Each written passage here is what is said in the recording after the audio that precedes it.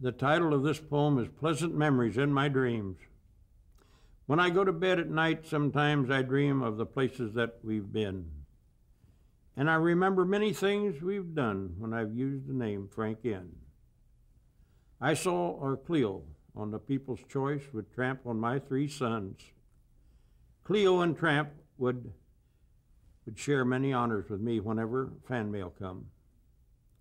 We traveled with a Petticoat Junction dog that we called Old Hig. But the animal star that hogged the show for fan mail was Arnold the pig. I felt important now that some of my popular animal actors had become a hit. And I started wearing my captain's hat for now. I was captain of my ship. I dreamed I was Noah with an ark, although I never took our boat to sea. We just cared for discarded animals that many people brought to me. You know, they would bring uh, us stray dogs and pregnant cats, also some with litters. Animals for the Beverly Hillbillies, you know, recognized as Ellie Mae's critters. And I finally had so many animals, taking care of them was such a strain. Then they called from Petticoat Junction for a dog to chase the train. We got so many calls for animals, my wife and I didn't know what to do. And then they got a call from Green Acres to find animals for them too.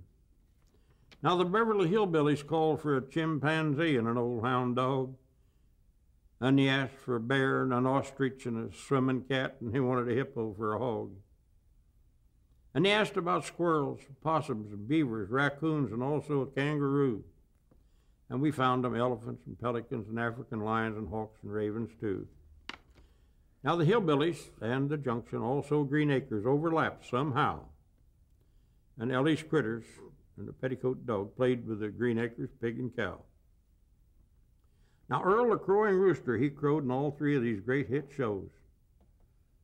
I hear Earl now. I recognize his voice. I, I love to hear him when he crows. Oops, I, I just woke up and realized I just had my 75th birthday.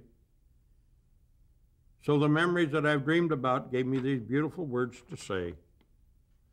I visit with my animal friends when I dream, and that's wonderful for me, for it brings back many fond memories I'd forgotten that I, I long to see. I just love to describe my unbelievable past when I try to write a poem and I'll leave my poetic biography for my family when God calls me home.